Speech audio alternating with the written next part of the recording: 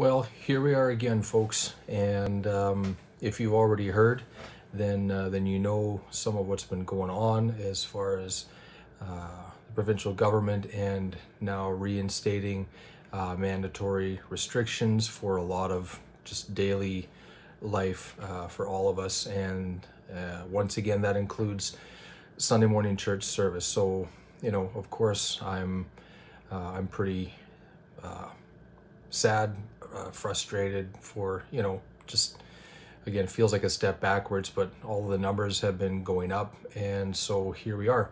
We are back to uh, some restrictions that we've seen before uh, for Sunday morning.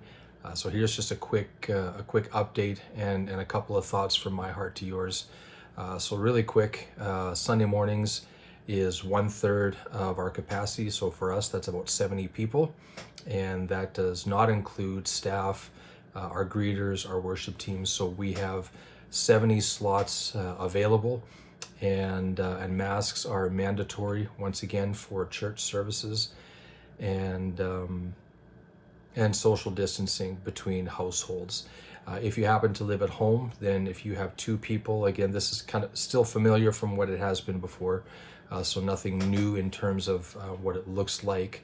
Um, but if you live alone and you've got uh, one or two people that you consider close or your cohort people, uh, you can be uh, non-distanced from uh, from those people as though they were family. But uh, but for those of you who are families, uh, there is required distancing between households and families for Sunday morning. So um, we're not going to put up the the tape and the cones again um, what we're going to do is we're just going to ask if you are coming to church on Sunday that you do two things.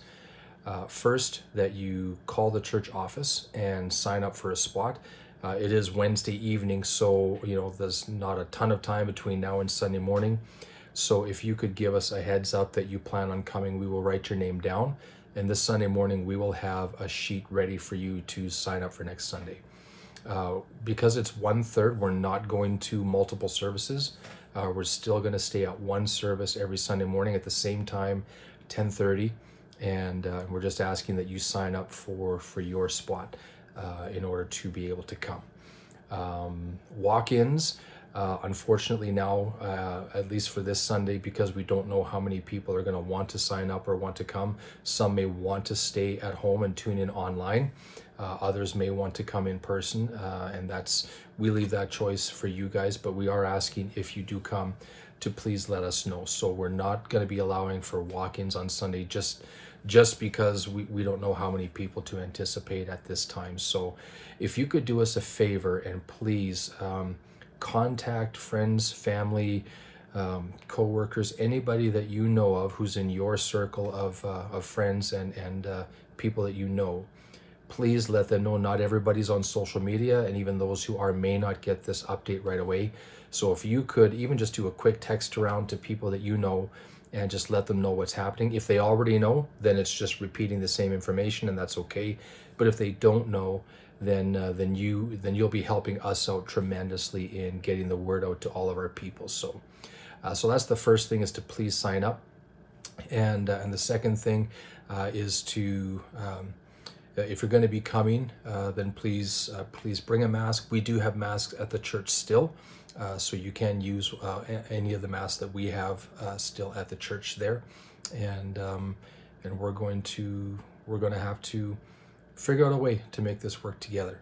I don't have any idea how long this is going to last. And again, what we're being told is just because uh, the hospitalizations and the cases are going up. Uh, they're spiking again, just as they did earlier this year.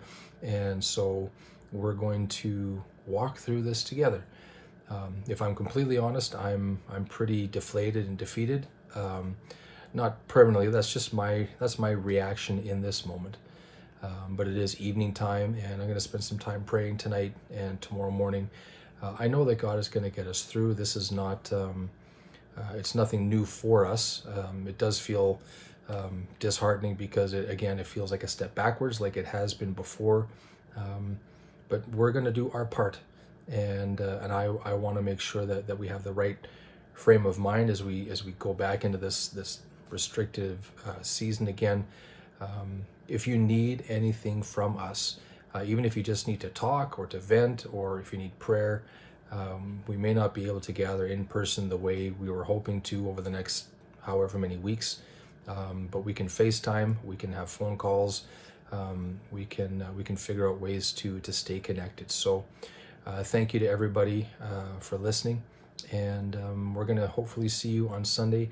Uh, if not, please uh, please contact us if you want us to pray for you, um, or to uh, or to just chat. So let's let's kind of hold our hands together again on this, and we are going to make it through. Jesus knows what he's doing. He's a great, uh, he's a great king and he's a great shepherd.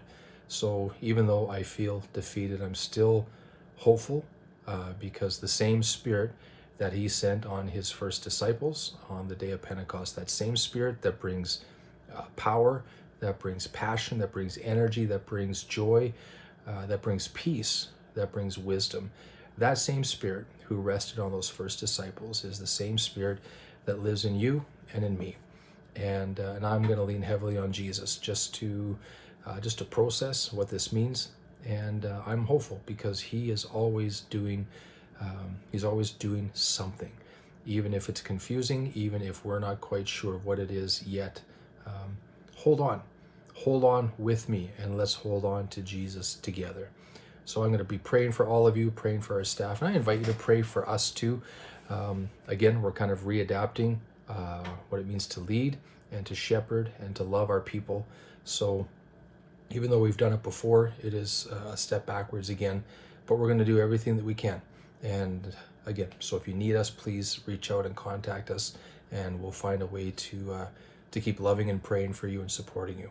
Thanks for tuning in, everybody. And if there's anything else to to let you know of between now and Sunday, I will uh, send out another update.